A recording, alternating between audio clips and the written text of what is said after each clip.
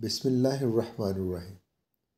इस लेक्चर में हम डिस्कस करेंगे कन्वर्जन बिटवीन कैनोनिकल फॉर्म्स। अगर आपका बुलियन फ़ंक्शन एक कैनोनिकल फॉर्म में है तो दूसरी कैनोनिकल फॉर्म में कैसे कन्वर्ट होगा? यानी अगर sum of min terms form में है तो प्रोडक्ट ऑफ़ मैक्स टर्म्स में कैसे लिखेंगे? और अगर प्रोडक्ट ऑफ़ मैक्स टर्म्स में है तो सम ऑफ़ मेन टर्म्स में कैसे कन्वर्ट होगा? एग्ज़ाम्पल लेते हैं, ये आपके पास एक फ़ंक्शन गिवन है sum of min terms three variable problem है तो ये मेन टर्म्स है. ये sum of min terms form में है. इसको हमने कन्वर्ट करना है product of max terms sum of min terms to product of max terms इसके, इसको देखते हैं। तो सबसे पहले कॉम्प्लीमेंट लेते हैं। ये हो जाएगा एफ़ प्राइम और इसका कॉम्प्लीमेंट इस पूरे एक्सप्रेशन के ऊपर अप्लाई कर देते हैं। और ये डिमॉर्गन लॉ से एक्सपेंड हो जाएगा। इस टर्म का कॉम्प्लीमेंट ये प्लस डॉट में चेंज हो जाएगा और इस टर्म का कॉम्प्लीमेंट फर्दर इसका कॉम्प्लीमेंट लेते हैं और इसका अलग से कॉम्प्लीमेंट लेंगे। ये डॉट ऐसे ही रहेगा। इसका कॉम्प्लीमेंट लिया। ये हो जाएगा X prime plus Y plus Z और ये हो जाएगा X prime plus Y prime plus Z prime. यानी जो लिटरल है, वो अन प्राइम प्राइम हो जाएगा और प्राइम अन प्राइम हो जाएगा। और जो आपका ऑपरेशन है, इसमें डॉट है, वो प्लस में चेंज हो जाएगा। तो ये फॉर्म बन जाएगी X prime plus Y prime Y plus Z ये डॉट एज इट इज़ और ये हो जाएगा X prime plus Y prime plus Z prime तो बज़ाहिर आपको नज़र आता है कि ये सम ऑफ़ प्रोडक्ट्स में था, ये प्रोडक्ट ऑफ़ मैक्सटम्स आ चुकी है, जबकि ऐसा नहीं है। ये प्रोडक्ट ऑफ़ मैक्सटम्स तो है, लेकिन कॉम्प्लीमेंटेड फॉर्म है। हमें इस बुलियन फ़ंक्शन, यानी इस बुलियन फ़ंक्शन को, जिसको सम मोमेंटम्स में लिखा गया है, इसी फ़ंक्शन की दूसरी फॉर्म चाहिए प्रोडक्ट ऑफ़ मैक्स टर्म्स लेकिन यहाँ कॉम्प्लीमेंट लेने से प्रोडक्ट ऑफ़ मैक्स टर्म्स तो आई है, लेकिन ये कॉम्प्लीमेंटेड फ़ंक्शन है, ये ओरिजिनल फ़ंक्शन का एक इक्वलेंट नहीं है। तो होना ये चाहिए था कि आपके पास इसमें हो क्या रहा है? ये आपके पास सम ऑफ़ मेन टर्म्स हैं। एक मेन टर्म आपकी ये है, ये वन है। दूसरी मेन टर्म आपकी ये है। जब आपने इसके ऊपर कॉम्प्लीमेंट अप्लाई किया तो ये मेन टर्म जो है, इसका कॉम्प्लीमेंट होने के बाद ये बन गया ज़ीरो और ये लिटरल चेंज होके, यानी यही मेन टर्म मैक्स टर्म बन गई है। जबकि आप रिक्वायरमेंट ये है आपके पास ये सम ऑफ़ मेन टर्म्स में पूरा फ़ंक्शन है, यानी ये दो वंस हैं और रिमेनिंग ज़ीरोस इसी कॉलम को आपने, आपको चाहिए यही कॉलम को आपने एक्सप्रेस करना है प्रोडक्ट ऑफ़ मैक्स टर्म्स यानी आपके पास ये मैक्स टर्म्स आनी चाहिए। तो कॉम्प्लीमेंट लेने से, और आपने ट्रुथ टेबल यूज़ किए बगैर काम करने। तो आपने जब कॉम्प्लीमेंट लिया तो आपके पास ये फॉर्म है एक्चुअली यही फॉर्म्स आपकी मैक्स टर्म्स में कन्वर्ट हो चुकी हैं। तो इसका मतलब है इस तरीके से आपका ये प्रोडक्ट ऑफ़ मैक्स टर्म्स ये जो अचीव हो रही है, ये कॉम्प्लीमेंटेड है, हमें ओरिजिनल की चाहिए। तो ये जो मेथड है, ये गलत है। हम इसके एक्चुअल मेथड की तरफ़ चलते हैं। सम मोमेंटम्स को लेते हैं। इसको सम मोमेंटम में लिख सकते हैं। ये आपकी जो मेंटम एम फोर है, जैसे ये one zero zero, M four होगी। और ये मेंटम वन वन वन, यानी एम सेवन इसको हम एफ़ को लिख सकते हैं सम ऑफ़ दिस मेंटम्स अब इसका कॉम्प्लीमेंट लेते हैं। जब आप कॉम्प्लीमेंट लेंगे तो इधर क्या आएगा? तो आप इसको ज़रा इस फ़ंक्शन को अगर देखें, इसका ट्रूथ टेबल अगर देखा जाए ट्रूथ टेबल के ज़रिए हालाँकि हमने इसको ट्रुथ टेबल के बगैर करना है, लेकिन इसको समझने के लिए ट्रुथ टेबल में ट्रुथ टेबल की हेल्प लेनी पड़ेगी।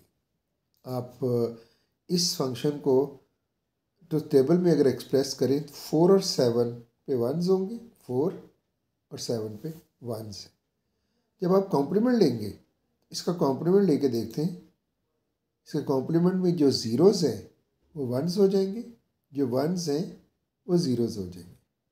अब आपने ये जो एफ़ को एक्सप्रेस किया हुआ है सम ऑफ़ इन मेन टर्म्स के, अब आप एफ़ डैश को भी सम ऑफ़ मेन टर्म्स में एक्सप्रेस कर सकते हैं। तो एफ़ डैश को अगर sum of min terms express करेंगे तो क्या होगा?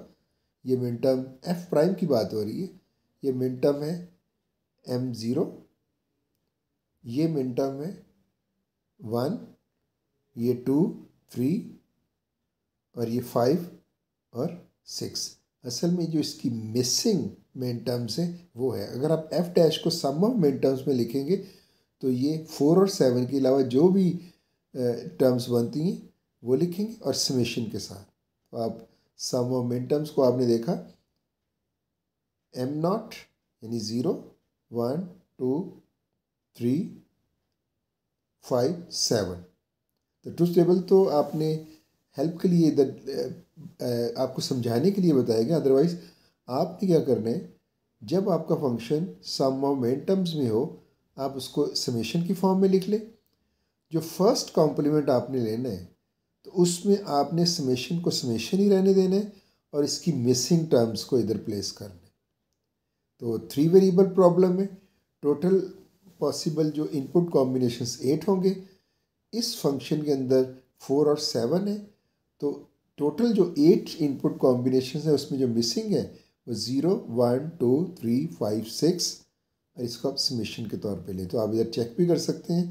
तो एफ़ कॉम्प्लीमेंट को, ये एफ़ कॉम्प्लीमेंट ये यही बनते हैं। तो इधर से हम डायरेक्ट इसको ऐसे प्लेस कर सकते हैं। एफ़ डैश आपने समेशन लिखा और मिसिंग टर्म्स अब इसको आप सम मेन टर्म्स में इस तरह से भी एक्सप्रेस कर सकते हैं।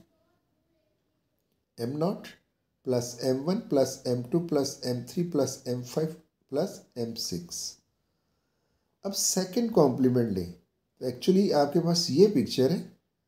इसका अगेन कॉम्प्लीमेंट लेंगे। तो यही ओरिजिनल फ़ंक्शन आएगा। अब जब ये आपकी मेंटम आई है, इसके ऊपर डिमॉर्गन लॉ लगाएँगे तो आपकी ये मैक्स टर्म्स भी आ जाएँगी। देखिए, एक कॉम्प्लीमेंट और लेते हैं, दोनों साइड्स का। ये एफ़ डबल प्राइम और ये इस पूरे के ऊपर प्राइम और यहाँ डिमॉर्गन लॉ के ज़रिए आप इसको एक्सपेंड करते हैं। क्या होगा? एम नॉट प्राइम ये प्लस डॉट में चेंज हो जाएगा। M one prime dot M two prime dot M three prime dot M five prime dot M six prime तो ये आपका ओरिजिनल फ़ंक्शन बन गया। ये आपके प्राइम की फॉर्म में आपके पास रिज़ल्ट आ चुके अब एम नॉट एम जे अगर मिनटम का प्राइम लें तो एक्चुअली वो मैक्स टर्म होती है। तो ज़रा देख लेते हैं सपोज़ हमारे पास ये मिनटम है एक्स वाई जी यानी वन वन वन यानी एम सेवन एम सेवन का अगर हमने प्राइम लेते हैं तो इसका प्राइम लेके देख लेते हैं, इसको एक्सपेंड करते हैं प्राइम के ज़रिए। तो जब आपने ये कॉम्प्लीमेंट अप्लाई किया, ये हो जाएगा X prime plus Y prime plus Z prime ये बन जाएगा।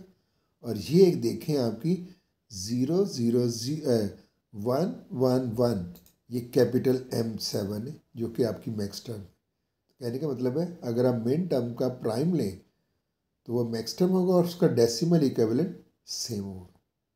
तो इस तरह से ये जो एम नॉट प्राइम है, ये कैपिटल एम नॉट बन जाएगी।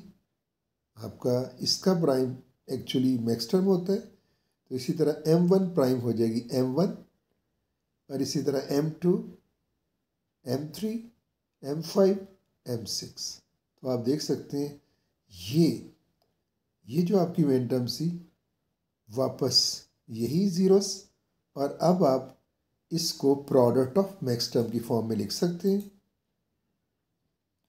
एम नॉट क्या होती है? अगर उसको वेरिएबल्स की फॉर्म में लें डेसिमल इक्विवेलेंट ज़ीरो और मैक्स टर्म क्या बनेगी? X plus Y plus Z यानी जो ज़ीरो होती है zero X plus Y plus Z इसी तरह एम वन को इस तरह से एक्सपेंड कर सकते हैं।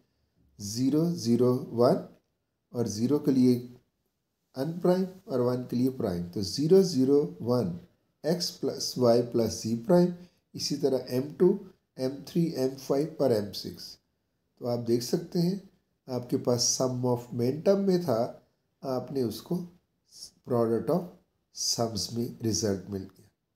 तो अगर इसको गो थ्रू करें, बहुत सिंपल है। ये जो गिवन प्रॉब्लम है, इसको समेशन की फॉर्म में लें ओरिजिनल फ़ंक्शन को इस फॉर्म में। फ़र्स्ट कॉम्प्लीमेंट में समेशन को समेशन रहने दें और इसकी मिसिंग टर्म्स उसको एक्सपेंड कर लें एम नॉट की फॉर्म में। अगेन कॉम्प्लीमेंट ने दोनों साइड्स का। ये तो आपका एक्चुअल आ जाएगा फ़ंक्शन ओरिजिनल और इसके ऊपर जब कॉम्प्लीमेंट लेंगे तो De Morgan law second complement right side पे डिमॉर्गन लॉ अप्लाई करेंगे। तो ये M dot prime dot M one prime dot तो ये ऑपरेशन डॉट में और ये सारे प्राइम के साथ। और बाद में आप एम नॉट प्राइम क्योंकि मैक्सटर्म के इक्वल होता है M not prime capital M not. इसी तरह इनको इसमें चेंज कर ले और इनको बाद में एक्सप्रेस कर दें मैक्स टर्म्स में। तो ये प्रोडक्ट ऑफ़ मैक्स टर्म्स बन जाए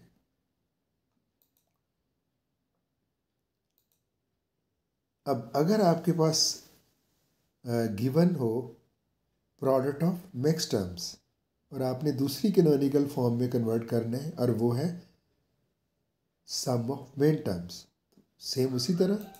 सबसे पहले इसको इस फॉर्म में लिख लें नोटेशन में। ये ज़ीरो ज़ीरो ज़ीरो यानी एम नॉट ये zero zero one M one और इसी तरह M two M three M five M six ये गिवन है।